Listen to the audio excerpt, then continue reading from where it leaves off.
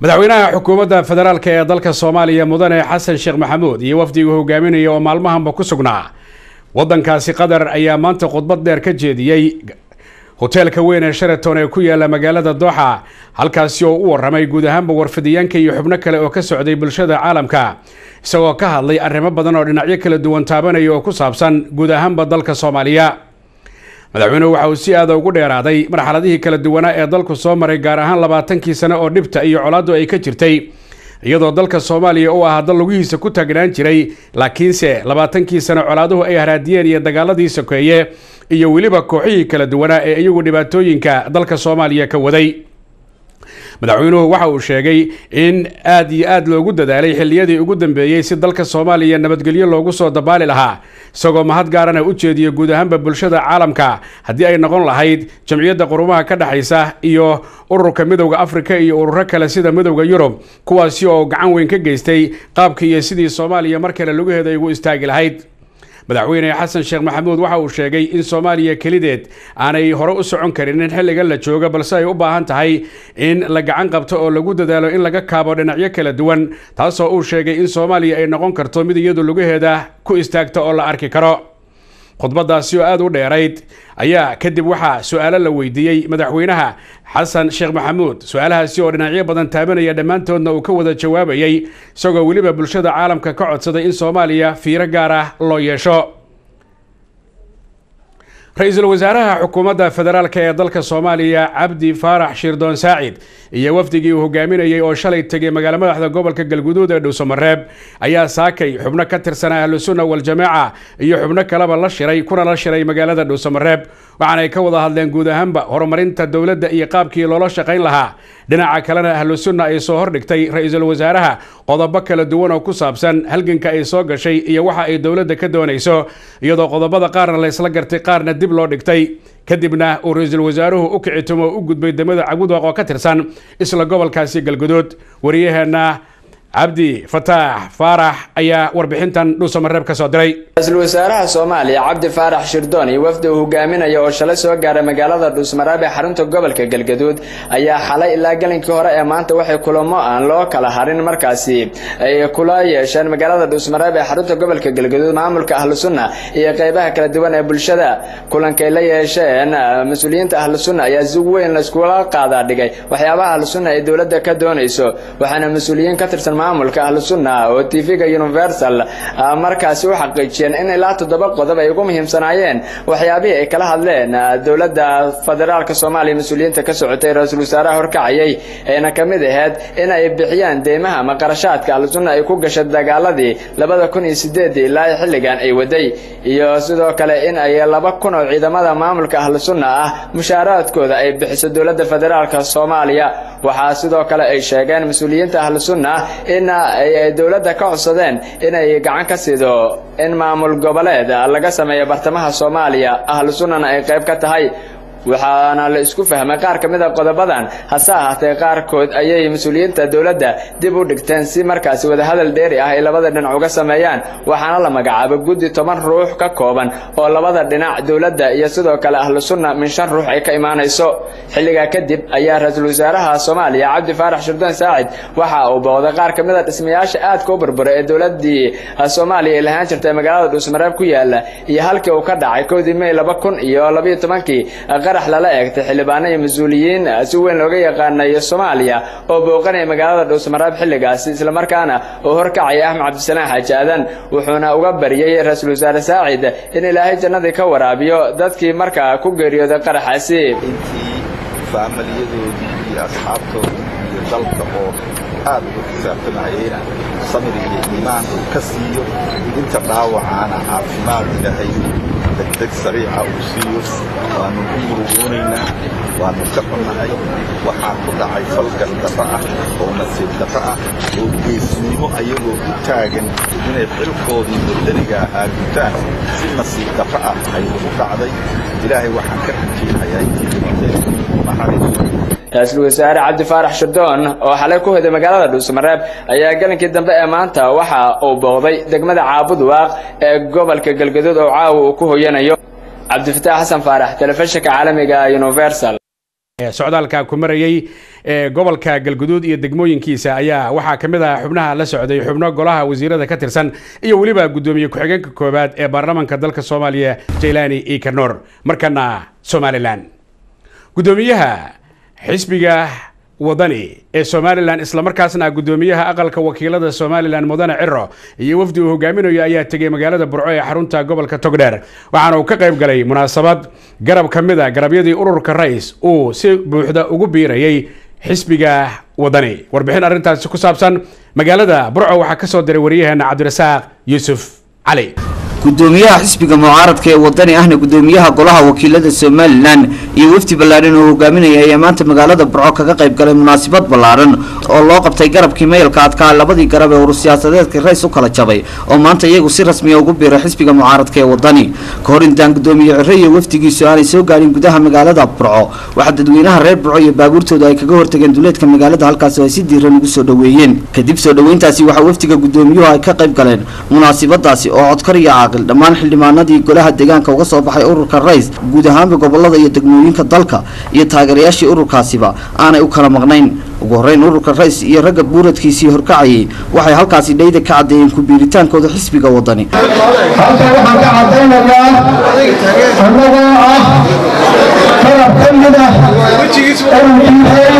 ah ah in aanu ummadayagii iyo awoodayagii iyo dhaqaalahayagii intaba aanu kula biiray xisbiga wadani halka xubno ka mid a ururadii hore ugu soo biiray xisbiga wadanina ayna dhankooda halkaasi ka soo jeediyeen hadallo dhiirigelin iyo dardaaran huwan oo ay ku soo dhoweynayeen taageerayaashaasi waqtigii doorashada socotay. Waxaan aaminsanaa labada ururo soo baxaya inay raysiga ummadda yihiin. Laakiin waa layna dhacay gudoomiye cabdiraxmaan maxamed cabdilaahi waxaan leeyahay gudoomiye mar haddaad heshay labadii urur ee ugu mucaaradka badnaa ee rays sida hortaada ka muuqata iyo urur siyaasadeedkii hore aad aragtay ummadda waxaan ku leeyahay guushii waan hantiday xubno badan oo halkaasi ka hadlay kadib dhinac kastaba waxaa khudbad ay ku dheehan tahay mucaaradadka kan oon hore xisbiga wadani loogaga baran halkaasi ka soo jeediyay guddoomiye ciro hadalada guddoomiyaha oo daarnaa dhinacyada xilliga iyo xilka madaxweynaha somalilan diiwaangelinta codbixiyaasha dalka iyo diyaargarow la'aanta xukuumadda shirarka soomaaliya iyo ka qaybgalka somalilan iyo weliba qodobo kale. Waxaanu idinka mahadnaqaynaa inaad marka tashateen kadib idinkoo isu aad go'aansanteen inaad ku soo biirtaan xisbiga wadani in la qabto oo sharciga ku qoran in doorashada intaan la qaban la sameeyo diiwaangelin waa diiwaangelinta codbixiyayaasha dadka codaynaya in la diiwaangeliyo ayaynu diiwaan doorashada madaxweynaha waxaanu leenahay wakhtigeedii ha dhacdo munaasabadaasi ayaa muuqaal ahaan laga dheehan karayay sida istabajooga ee ururada hadhay ugu sii qulqulayaan dhanka xisbiga wadani cabdirasaaq yuusuf cali universal t v burco maxkamadda darajada koowaad ee gobollada bari karkaar iyo sanaag ee puntland ayaa waxay xukun ku riday dil ah saddex qofood oo ay ku eedeeyeen inay ururka al-shabaab ka tirsanaayeen warbixin arrintaasi ku saabsan boosaaso waxaa ka soo diray wariyaheena maxamed madani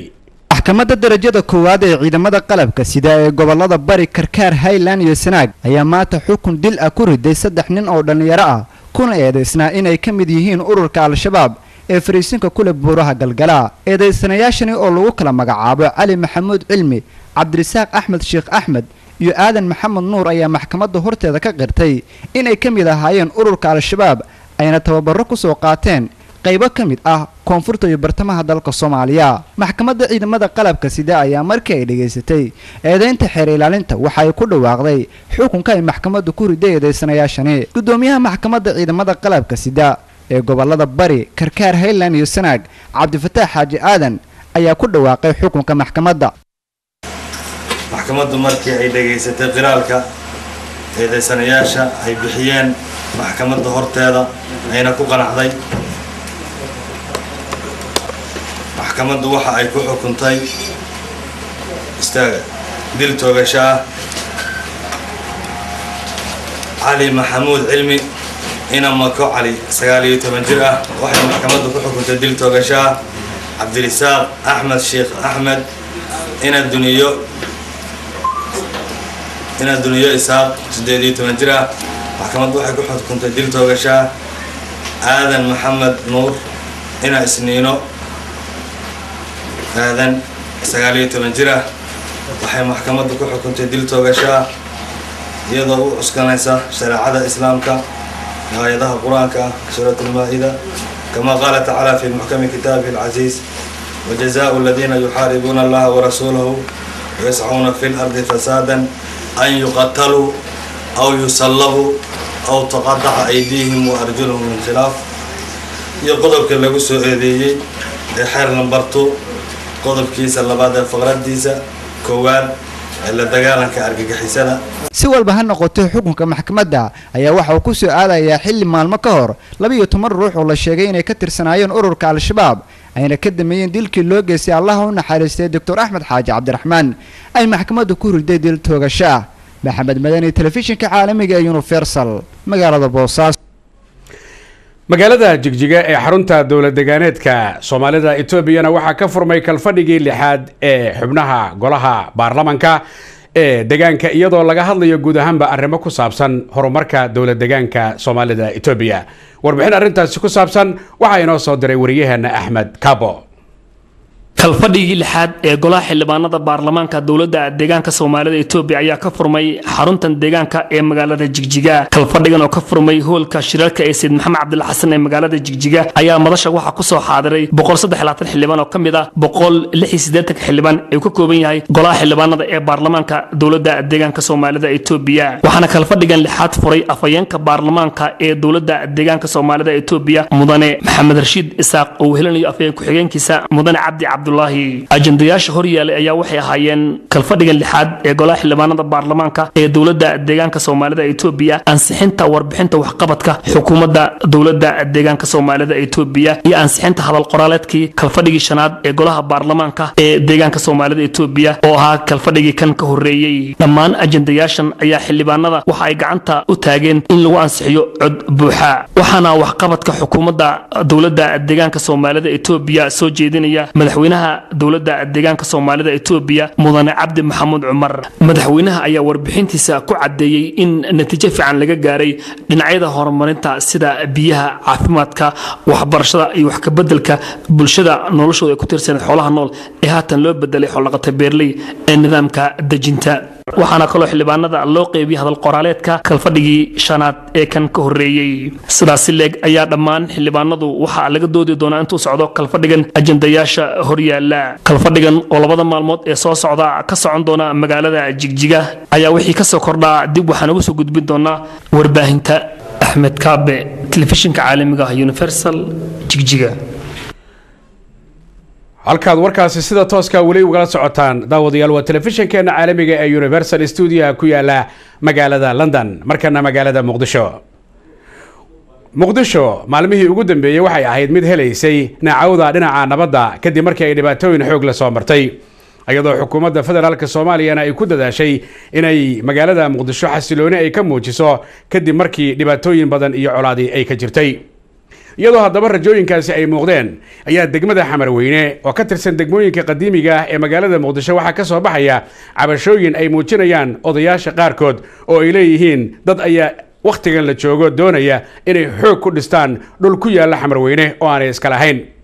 Waxay sheegeen bulshada banaadirigu inay yihiin dad nabad ah oo aan dagaal jeclayn oo aan hubaysnayn. Laakiin dhinaca kalena waxay muujiyeen inay usha dabka u gelin doonaan cid kasta oo isku dayda dhulkooda inay dhistaan warbixin arrintaasi ku saabsan wariyaheenna muqdisho ka soo warramay cabdicasiis ibraahim okey. Waa kan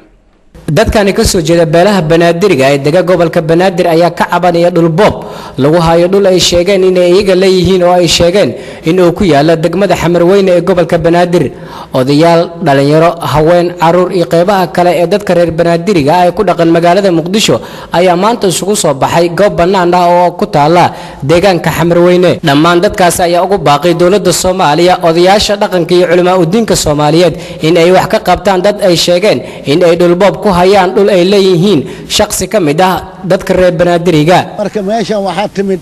dad baa sheegashooya dhul xoog anugu xoog ma qabno ilaah baa xoog leh.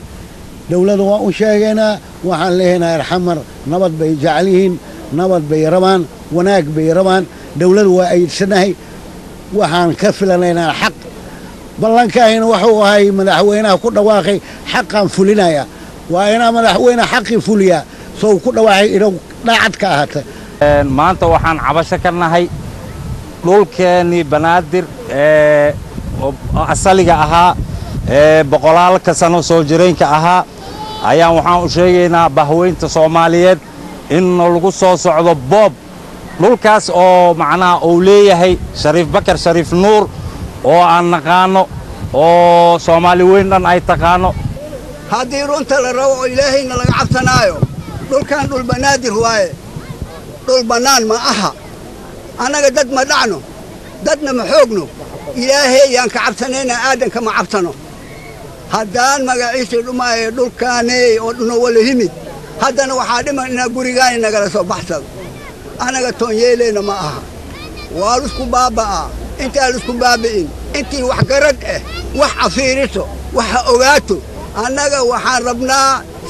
sidii daacad ah wax inaan ku qaadano annaga xaqdadoo ma jecelnayn cabdicasiis ibraahim axmed okey tv-ga caalamiga universal. Magaalada muqdisho. Wasiir ku-xigeenka arrimaha dibadda xukuumadda federaalk soomaaliya oo weheliyo danjiraha soomaaliya ka fadhiya dalka south africa ayaa waxa ay booqdeen cape town oo ay soomaali badani degan tahay. Wariyaheenna deeq darajo ayaa warbixin arrintaa ka soo diray wasiir ku-xigeenka wasaaradda arrimaha dibadda ee dowladda federaalk soomaaliya mudane jamaal maxamed barrow oo maanta gelinkii hore soo gaaray magaalada cape town ee dalka koonfur africa kaasi oo lagu wado inuu la kulmo dhigiisa south africa iyo mas'uuliyiin kale ee ka tirsan dowladda koonfur africa wasiirka ayaa socdaalkiisa ku yimid magaalada cape town ee dalka koonfur africa ayaa waxaa ku weheliya safiirka soomaaliya ee u fadhiya south africa sayid xasan shariif kuwaasi oo warbaahinta soomaaliya kula hadlay ilinka hore ee african bride ee ku yaalla santarka magaalada cape town wasiir ku-xigeenka wasaaradda arrimaha dibadda soomaaliya mudane jamaal maxamed barrow ayaa ugu horeyn ka warbixiyey ujeedada safarkooda. Booqashadayda waxay ahayd waxay ka jawaabaysay casumaad aan ka helnay wasaaradda arrimaha dibadda ee south africa ama koonfurta africa oo ay qaataan baasaboorradii soomaalida lahayd oo ay aqoonsatay dowladda koonfur africa in lagu soo gali karo oona lagu bixi karo. Waxaa taas looga baxaa marka tahriibkii la soo galaya iyo sharci daradii lagu joogay koonfur africa waa looga baxaa. Taas haddii laga baxona dilkii iyo waxaa yaraana dhibaatadii loo geysan jiray soomaalida waxaana yaraynayaa markaan dabagal baa imaanaya safaaradda ayaa dabagalaysa ayagana siday noo sheegeen waxay ka furan doonaan soomaaliya safaarad bay ka furan doonaan. Markii qof soomaaliya la dhibaateeyo ama koox soomaaliyeed la dhibaateeyana safaaraddaasaan kula xisaabtamayna aan weydiinaynaa waxa ka dhacay koonfur africa iyo sababta u dhaceen. Laakiin waxay ku xiran tahay soomaalida inay isku xirnaadaan safaaradoodana ay ku xirnaadaan shuruucdiina ay qaataan. Sidoo kale safiirka soomaaliya sayid xasan shariif oo isagana ka hadlay goobta ayaa ka warbixiyey dhanka socdaalka kaasi oo dhibaato xoogan ay ka taagneyd ku laabashada dalka soomaaliya. Waxaan dhaqjinay laba arrin oo ah kow in ummadii soomaaliyeed oo halkan ku xayirnayd oo ku xanibneyd oo muddada fara badan inay dalkan ka tagaan oo soomaaliya aadaan loo diidanaa ayaan waxaan kala xiriirnay department of home affairs kuwaasi ayaan fududaynay ilaa haddana waxaa noo socda arrinkaasi. Waxaan ku guulaysanay oo hadda aan u sheegnay ummadda soomaaliyeed inay leeyihiin basaboor genuine ah oo electronic ah oo la aqoonsan yahay oo soomaalidu ay leedahay waxaana u sheegnay baasaboorradii hore oo kii cagaarnaa iyo kuwo kale oo waxaas oo dhan inaanan jirin kan dowladda ay leedahayna kan hadda ay iyagu aqbaleen ay tahay si kastaba ha ahaatee qorshahani oo wasiir ku-xigeenka wasaaradda arrimaha dibadda soomaaliya ku yimid dalkani ayaa ah qorshe sal ballaaran taasi oo lagu xoojinayo diblomaasiyadda soomaaliya iyo south africa iyadoo sidoo kale ay dalkan tababar ku qaadanayaan diblomaasiyiin soomaaliyeed taasi oo qayb ka ah ballanqaadyadii madaxweynaha dalka koonfur africa ee jacob zuma maxamed deeq muusan nuur deeq darajo jamhuuriyadda jabuuti waxa ay ka samaysay horumar dhinacyo kala duwan leh dhinacyada siyaasadda dhaqaalaha iyo arrimaha bulshada iyadoo weliba arrinkaasi uu horseed ahaa madaxweynaha jamhuuriyadda jabuuti mudane ismaaciil cumar geelle iyo golaha xubnaha baarlamanka iyo xukuumadda iyo shacabka reer jabuuti oo aan u kala harin oo iyagu dhammaantood iskaashanaya. Marka la fiiriyo arrimaha bulshada isboortiga ayaa ka mid a dhinaca horumarinta oo jamhuuriyadda jabuuti ay ku dadaashay sidii qaybaha kala duwan ee isboortiga ay horumar uga gaari lahayd dunida inteeda kalena ay waxula qabsan lahayd. Taasina waxaa daliil u ah in xiriirka kubadda cagta ee jabuuti uu qalab kala duwan qaybiyey oo dhinaca kubadda cagta ah. Haddaba warbixin arrintakaa ku saabsan waxaa munaasabadiina ka qayb gashay kana soo dirtay wariyaheenna sagal saciid faarax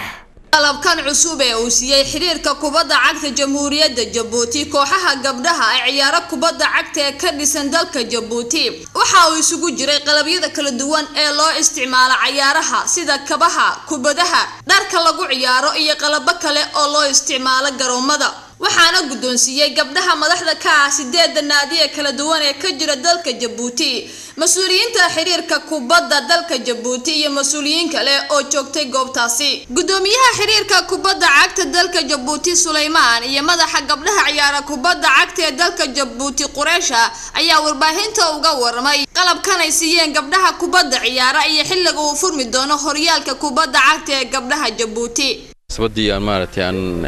aan ku bixinaynay qalab aan ku siinay kooxaha kubadda cagta ee maaragtay hablaha. Oo muddo sanado badan maaragtay ka maqnaa maaragtay kubadda cagta Djibouti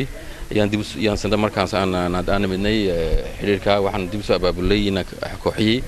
Waxaana garanay sidaan maaragtay niyadda ugu dhisleen hablaha maaragtay tiimka inaan qalab ugu taageerno san ay uga soo qayb geli lahayn dhammaan maaragtay hablaha kubadda cagta Djibouti ay ka soo qayb geli lahayn saa daraaddeed baa maantay munaasabad u sameynay oo maanta qalabkan u siinaa waxa wuxuu furmi doonaa todobaadka soo socda waxay ka kooban yihiin sideed naadi bay ka kooban yihiin. Waxay ciyaari doonaan champion maaragtay ali ratuul ayay ciyaari doonaan todobaadka dambe ah soo socda kale qalabkan wuxuu ka kooban yahay waxa weyn dhinaca teknika iyo dhinaca kiimaan dhinaca teknika waxa inay ku ciyaaraan maaragtay tababarka ay ku ciyaaraan. Dhinaca kale in ay maadigiyaashooda qalab siiyaan sidii dee hawluhu niyadu helayeen oo ay kubadda cagta aan ugu soo jiidno. Qalabkii kubadda cagta hablahan ku bixinaynaa halkan. Ayago annagoo wallaahi shucuurtayadu aad u fiican tahay. Shampiyoonaagii oon bilaabayno khamiista waxaan ku bixinay sideed kaleeb oo hablaha ekibongowga alxamdulilah si fiican noogu dhacday gabdha gabdha gabdha gabdha iminka bishii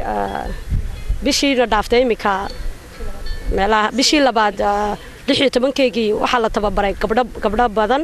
oo dhanka coachka hablo coachaa la tababaray oo hablaha ciyaarsiinaya maanta. Xiriirka kubadda cagta dalka jabuuti waxay sheegeen in hadda wixii ka dambeeya kor loo soo qaadi doono gabdhaha ciyaara kubadda cagta ee dalka jabuuti. Sagal siciid faarax universal t v. Maalinimadii shalay ayay ahayd markii doorashooyinka ay u dareereen. Guud ahaanba dadka reer kenya iyagoo dooranaya madaxweyne iyo weliba xubnihii baarlamanka. Ilaa iyo haatanna wararku ay sheegayaan codbixinta la tirinayo inay tiradoodu socoto oo uu hoggaanka u hayo uhuru kenyatta marka hore waa tan wariyaheenna nairobi ka soo waranta xamdi maxamed kadiye. Weli waxaa socda tirinta codadka doorashadii shalay ka dhacday dalka kenya iyadoo ay jiraan qaybo badan oo aan weli la soo gudbin codadkooda. Waxaa iska soo dabadhacaya hadba tirada codadka ee ka imaanaya deegaanada ee soo gaaraya xarunta boomas oo ah halka ay guddiga doorashooyinku ka soo gudbinayaan. Tirada codadka musharaxiinta iyo siday u kala horeeyaan oo si toosa dadkuna ay ugala socdaan shaashadaha tiiviyada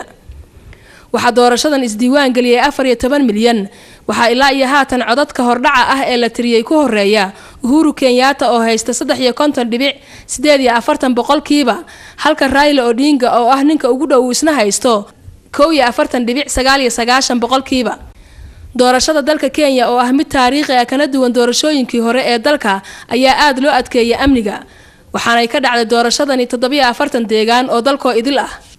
shir jaraa-id oo goordhoweyd ay qabteen xisbiga kood ee uu musharaxa u yahay raila odinga ayuu sheegay colonsio misioka oo ah madaxweyne ku-xigeenkiisa xisbigaasi in weli ay jiraan goobo badan oo ay ku tashanayaan oo aan codadkooda la tirin. Hase ahaatee hadalhaynta dadka ayaa ah in doorashadani uu ku soo bixi doono uhuru kenyaata iyagoo u sababeynaya inuu ka soo jeedo qabaa'ilka ugu tirada badan dalka kenya maadaama isbahaysyada dalkuna ay ku tiirsan yihiin qabaa'ilada labadan musharax ee loolanka adagi uu u dhexeeya ee uhuru iyo raila ee ugu cadcad sideeda musharax ayaa markii saddexaad